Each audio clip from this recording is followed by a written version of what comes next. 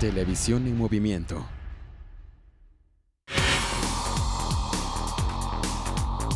Bien, y este es parte del escenario que tiene el Hospital General Laureano.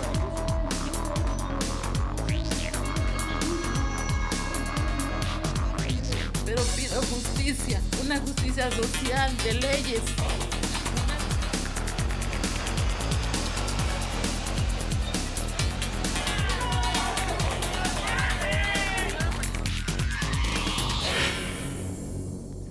Auditorio, muy buenos días, les saludo con muchísimo gusto en este día, eh, perdón, miércoles 9 de diciembre, en el que damos inicio a este programa Espacio Ciudadano.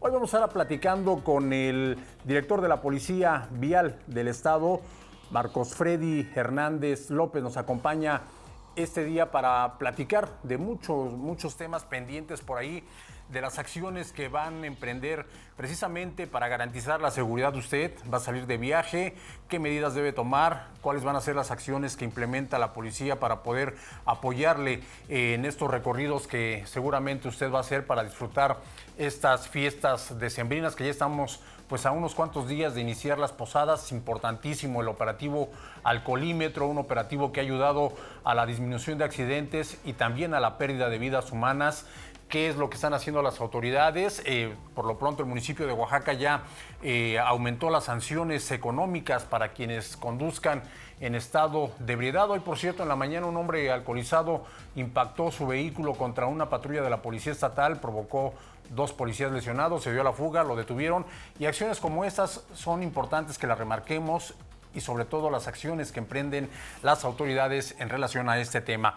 Estamos transmitiendo a través del canal 152 de cable, esto es Espacio Ciudadano y bueno, saludo con gusto, eh, le doy la bienvenida a nuestro invitado del día de hoy, Marcos Freddy Hernández López director de la Policía Vial Estatal. Bienvenido, Marcos. Muchas gracias, un placer estar con ustedes. Bueno, ¿y por qué no empezamos? Hay mucho de qué hablar. Eh, Marcos Freddy, tuvimos apenas el festejo de la Virgen de Juquila, una actividad católica eh, que concentra una cantidad importante de, personas, no solamente del estado de Oaxaca, sino de otras entidades, vienen a, visitar a, esta Virgen allá en, el santuario de Santa Catarina Juquila. La Policía Vial ha estado implementando actividades operativos precisamente en apoyo a los peregrinos. Hay un despliegue permanente en lo que es ya la ruta de la fe. Eh, hay eh, considerable personal destacamentado en esta parte de lo que es la carretera 131 no abarca nada más de lo que es Juchatengo hacia eh, el vidrio. Traemos ya peregrinaciones este, con protección desde la región de la Mixteca hasta que lleguen al destino final de, Juquila. Al cierre de hoy traemos aproximadamente 40 mil eh, peregrinos en, este, en, el destino de lo que es Juquila, un alrededor de 5 mil peregrinos eh, que han arribado a, este destino religioso eh, sobre todo el acompañamiento que se le ha venido dando por parte de la Policía Vial Estatal, se ha, eh, y comentar, se ha reducido el tema de infracciones y se ha aumentado más el esquema de proximidad social. Traemos hoy un esquema de que pueda eh, la población acercarse a la unidad de la Policía Vial Estatal para solicitarle auxilio en caso de que se requiera. ¿Se ha logrado disminuir el número de accidentes en comparación a años anteriores, director? Se ha disminuido, sí eh, traemos ahí un saldo blanco en lo que es la carretera 131, no ha habido un evento relevante en el cual se hayan perdido este, eh, eh, víctimas o que hayamos tenido víctimas en esta parte, siempre se ha suscitado volcaduras y sobre todo se ha tenido la pérdida de vidas en, en esta carretera, han accedido al acompañamiento de tanto las peregrinaciones ciclistas, las peregrinaciones a bordo de motos, las carreras con antorchas que se vienen desarrollando desde el vecino estado de Puebla, que hablamos de un alrededor de 70% de esta afluencia de, peregrinos son del, vecino estado de Puebla y sobre todo que este, yo comentarte si han hecho caso de las recomendaciones de los agentes de vialidad. Eh, traemos despliegue desde lo que es Mixteca, mm, lo que es Valle Centrales o Plaza, y de igual forma Cimatlán, Sola de Vega y la coordinación que se tiene del operativo que se ha instalado en lo que es Juquila para poder acomodar a todos estos autobuses, tortons y contingente que llega a, sobre todo al municipio de Juquila, en el cual actuamos de manera coordinada con el presidente Manuel Leo. Fíjate que me da muchísimo gusto, director, saber que hay un saldo blanco en este trayecto que recorren los peregrinos, sobre todo esta gente que viene de otras entidades de Puebla principalmente. Nos estás comentando el 70% de los peregrinos que arriban a este santuario son procedentes del estado de Puebla.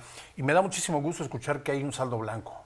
Eh, es lamentable cuando nos enteramos que esta gente que viene con toda la fe puesta sufre accidentes, sufre tragedias, sufre desgracias debido a la imprudencia, al, al manejar cansado, al manejar con exceso de velocidad. ¿Se ha logrado concientizar a los conductores, a los participantes de esas peregrinaciones? Se ha logrado, eh, sin embargo, nos hace falta todavía un buen este, tramo por, por avanzar.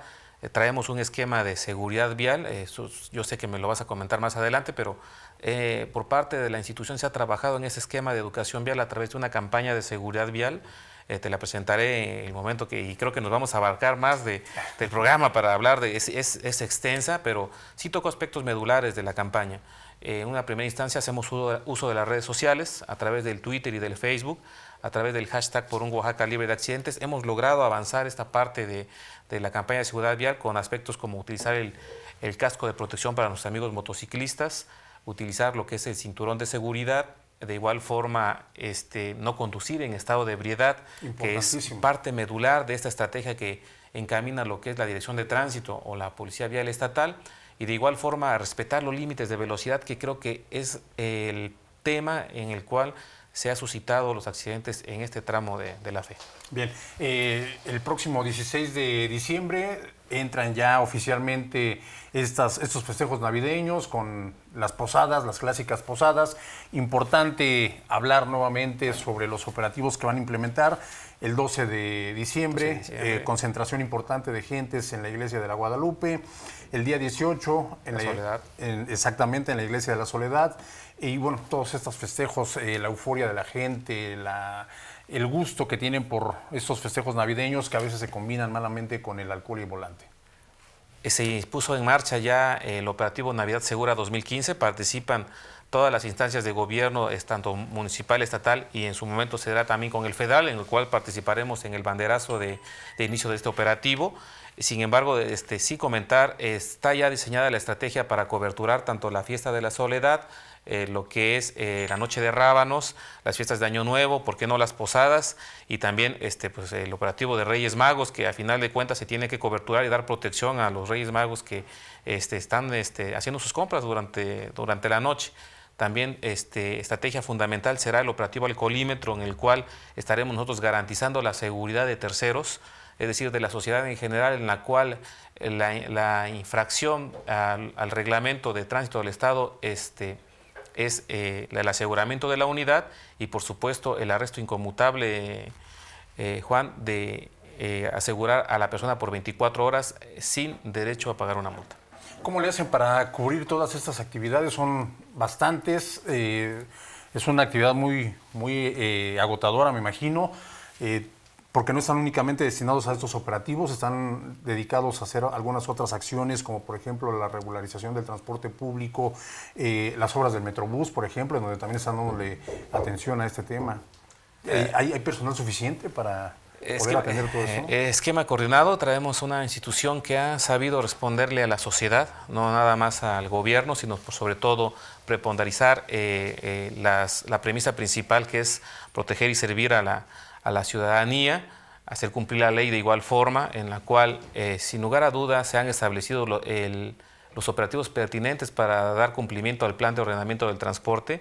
Hemos aplicado operativos en lo que es la región de Valles Centrales, eh, específicamente en el municipio de Oaxaca de Juárez, hablamos de lo que es la zona norte, eh, San Juan Chapultepec y también Santa Rosa.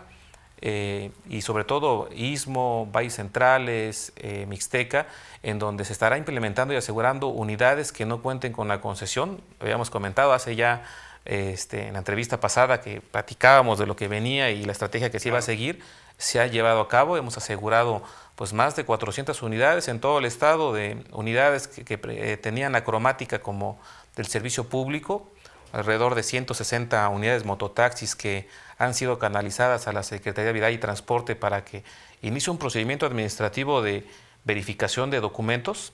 Hay unidades que cuentan con un procedimiento en las cuales se encuentra dentro de los estudios de factibilidad y hay unidades, por supuesto, que no eh, cuentan con este procedimiento y y aún no se inicia un tema de extinción de dominio, pero sí en su momento yo creo que sí será una de las rutas que se tendrán que destacar.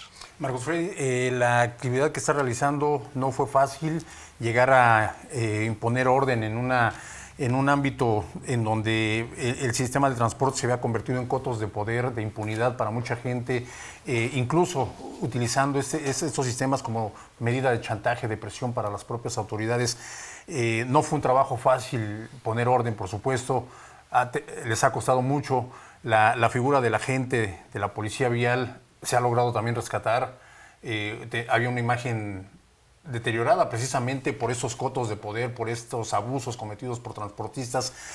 ¿Qué tanto, qué tanto costó eh, lograr imponer el orden, eh, Marcos Freddy? ¿Cómo fue posible esto? Bueno, esta administración se destaca por muchos cambios que ha efectuado y por supuesto la expedición de normatividades.